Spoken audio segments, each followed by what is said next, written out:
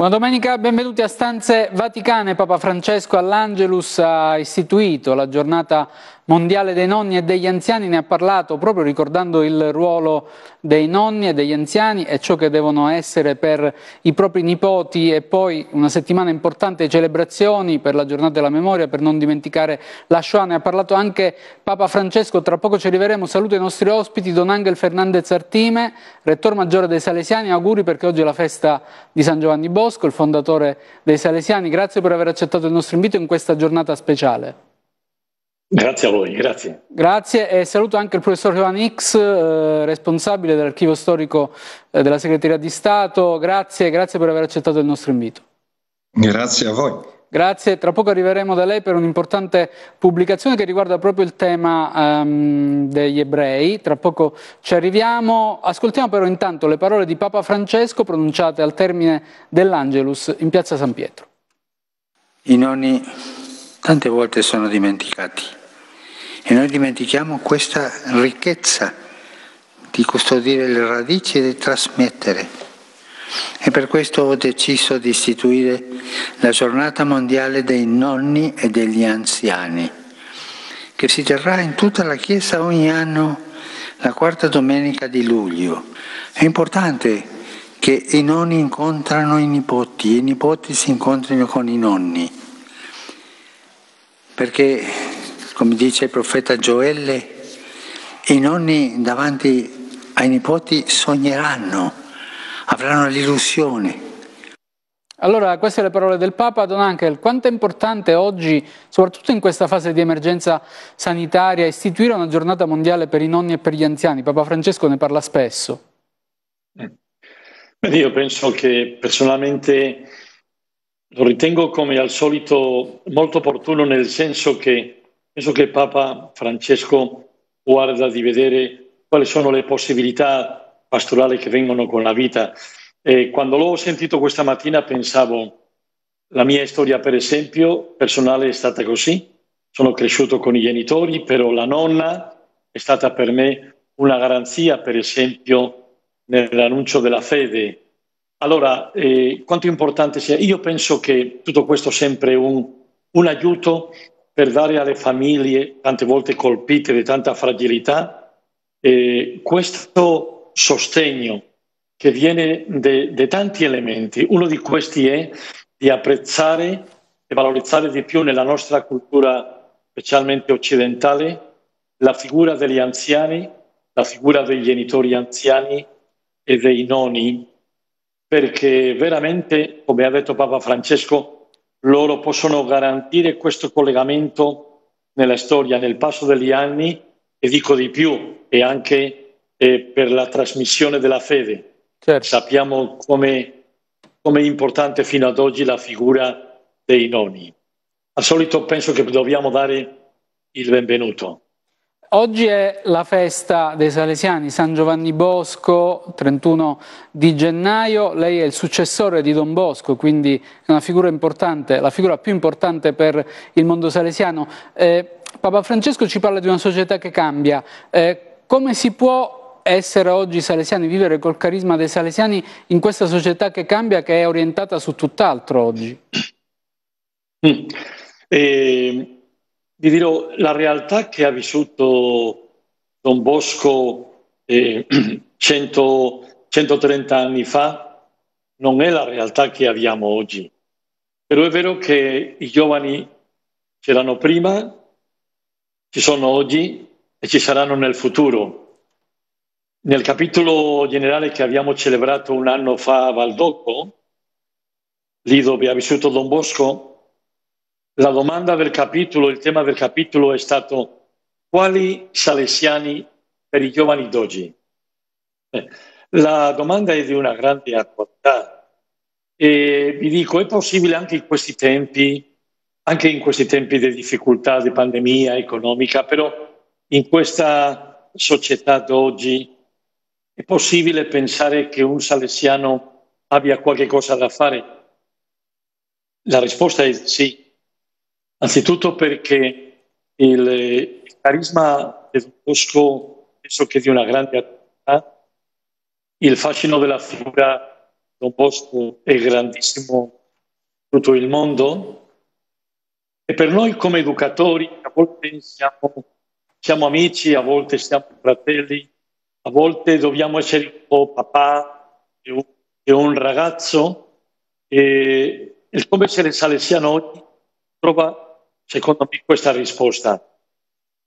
Siamo gli educatori che crediamo che dobbiamo fare e oggi essere disponibili per i ragazzi e i giovani con la nostra presenza, con una accoglienza senza condizioni, con una scelta di essere farsi sempre presente in loro, con un desiderio di, di ascolto e con una caratteristica del nostro spirito di famiglia che è questo della, della vicinanza, dell'accoglienza e del cercare di trovare al ragazzo, al giovane, lì dove si trova, certo. non dove noi vogliamo trovarlo. È così. E questi giovani di oggi, eh, però, vediamo che serve forse una sfida, c'è una sfida educativa da affrontare perché le notizie di cronaca, ci, parla, di cronaca ci parlano di questi ragazzini che ormai stregati dalle nuove tecnologie compiono anche dei gesti estremi. Abbiamo visto i recenti fatti di cronaca, diversi ragazzi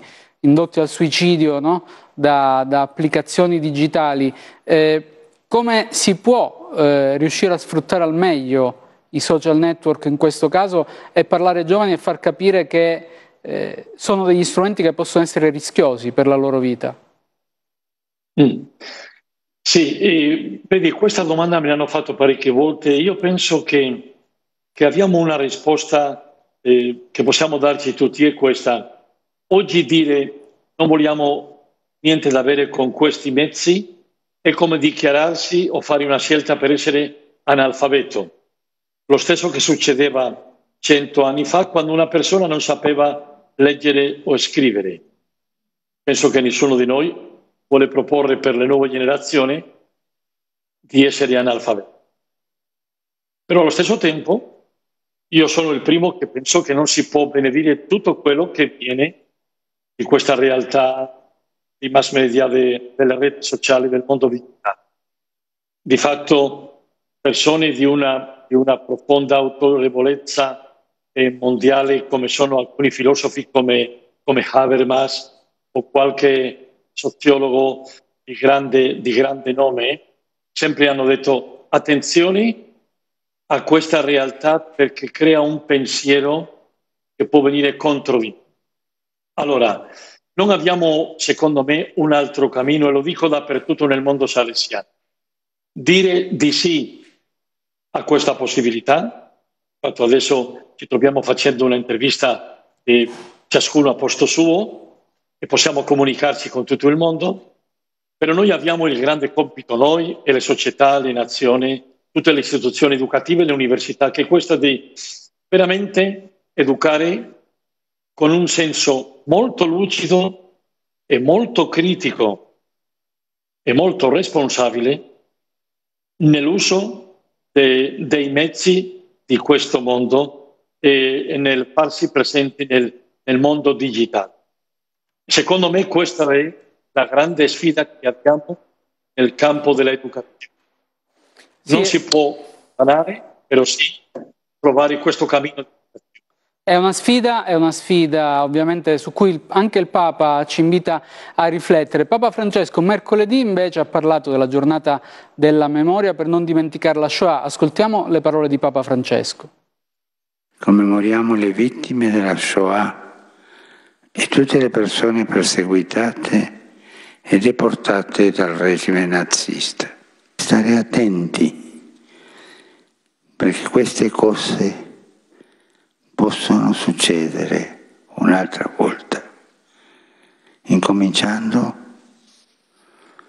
le proposte ideologiche che vogliono salvare un popolo e finendo distruggendo un popolo e l'umanità. State attenti a come è incominciata questa strada di morte, di sterminio, di brutalità. Allora, queste le parole di Papa Francesco. Ho invitato il professor X, che è responsabile dell'archivio storico della sezione per i rapporti con gli Stati della Segreteria di Stato Vaticana, perché ha scritto un importante libro che vi facciamo anche vedere, edito da Rizzoli, Pio XII e gli ebrei. È un libro che contiene dei documenti perché come sapete Papa Francesco ha autorizzato lo scorso anno l'apertura degli archivi su Pio XII e qui per la prima volta, eh, lo dice anche il sottotitolo del libro, l'archivista del Vaticano ci svela cosa, cosa contengono alcuni degli archivi su Pio XII e ci racconta anche delle storie. Ecco, professor X, la prima domanda è questa. Perché ha scelto di raccontare e di scrivere questo libro facendo parlare per la prima volta le carte e raccontando praticamente delle storie di persone comuni, di gente comune?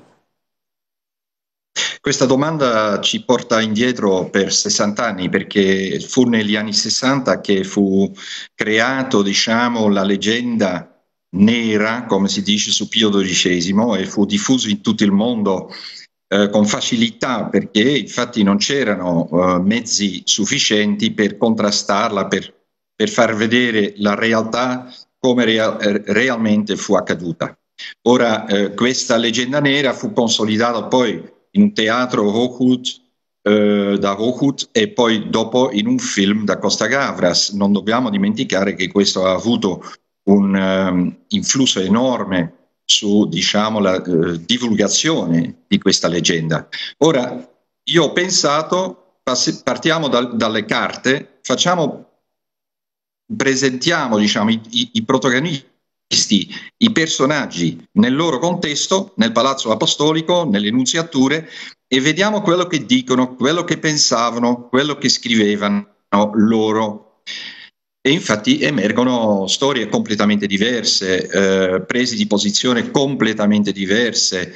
E anche eh, uno dei, diciamo, grandi sorprese eh, durante, diciamo, nostra, eh, il nostro lavoro di preparazione fu eh, la presenza di una serie ebrei che risultò in un Pacelli list, cioè come Schindler's List, cioè persone che hanno chiesto aiuto da tutta Europa al Papa e che fu, eh, furono infatti accolti eh, con eh, diciamo, un ufficio che lavorava giorno e notte per aiutarli. Ecco, e poi c'è una cosa che colpisce tanto da questa pubblicazione, emerge da alcune carte che lei ha pubblicato che alcuni collaboratori del Papa, faccio l'esempio e cito Monsignor Armando Lombardi che è citato, che faceva parte di questo gruppo di lavoro che si occupava proprio di questa tematica, che mostravano sentimenti antisemiti, però questi stessi personaggi eh, certificano, potremmo dire così, anche quella che era la posizione di Pio XII eh, sull'argomento. Ci può dire eh, meglio qual era questa posizione di Pio XII? Allora, voglio ricordare che questi presi di posizione, eh, appena fa, eh, nella sua intervista, Papa Francesco ha ricordato che c'è il pericolo che questo esista ancora e, e può riniziare. E infatti anche in circoli cattolici ogni tanto si trovano ancora derivati di questa, eh, questo sentimento o antigiudaico o antisemita. Ora, eh, eh, proprio attraverso documenti che esprimevano questo, eh, questi sentimenti anti-ebraiche, che ho potuto distillare eh, o che ho fatto rivelare infatti alle lettore la vera posizione di Papa Pio XII, che fu proprio l'opposto, perché queste persone in curia non furono d'accordo con la sua linea. E la sua linea, e questo è diciamo la finale del libro, fu condensato già nel 1916, quando Eugenio Pacelli fu ministro degli affari esteri del Vaticano, eh, fu mandato agli ebrei a New York, eh, the American Jewish Committee, e che diceva che gli ebrei sono i nostri fratelli e, e ebrei, il popolo ebraico deve essere trattato come tutti gli altri popoli. Ecco, queste le parole eh, di Pio XII che lei trascrive anche eh, riguardando a que- riguardo a quella posizione quando era eh, in segreteria di Stato, non ancora Papa ai tempi di Pio XI. Grazie professor X, autore di Pio XII e gli ebrei, questa è la copertina del libro edito da Rizzoli. Voglio tornare da Don Angel Artime, però sempre su questo tema. Eh, Don Angel, però eh, oggi le statistiche parlano chiaro e dicono che purtroppo ancora oggi ci sono sentimenti antisemiti. Come si deve reagire in questo caso? Certo, è, è vero quello che, che lei dice, è, è vero quello mi sembra che ha detto Papa Francesco con l'avvertenza di dire attenti che non si dice che, che questo non possa ritornare. Questo pericolo c'è, i populismi. Io penso che tutti vediamo nelle nazioni il grande pericolo di questo. Allora, come fare? Io non posso parlare con la visione di un, di un grande esperto nella storia, sì, lo faccio nel mondo che è più più vicino a me che è quello della formazione della gioventù e dell'educazione.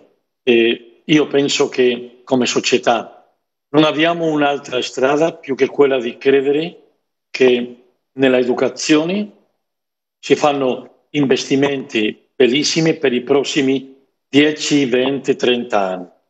Lo stesso, fare una chiara avvertenza che quando socialmente si cerca di dividere la società, e abbiamo esempi molto recenti, questo è un pericolo grandissimo perché non si sa dopo dove arriva quello che uno ha cominciato a fare per la divisione. Perciò, frente alla divisione e il populismo, io penso che non abbiamo un'altra migliore strada che una, una decisione delle nazioni, degli stati, dei governi, delle istituzioni favore di un'educazione dove non sia possibile, giustamente, ne, nessuna mettere in difficoltà altre persone, dove non sia possibile la certo. giustizia sociale, dove non sia possibile l'uguaglianza. Penso che c'è la strada più giusta e più sicura e fruttifera.